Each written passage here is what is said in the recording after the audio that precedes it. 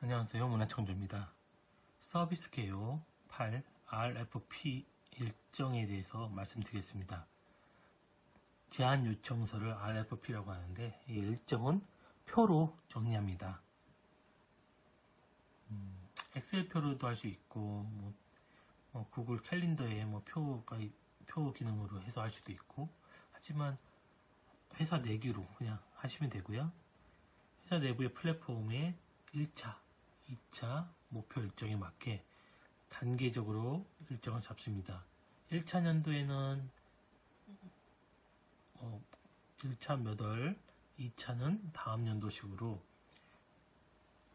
일정을 잡아놔야 또 이렇게 서로 하자는 어떤 그런 부분들이 있기 때문에 꼭 일정, RFP 일정을 꼭 잡아놓고 표로 해서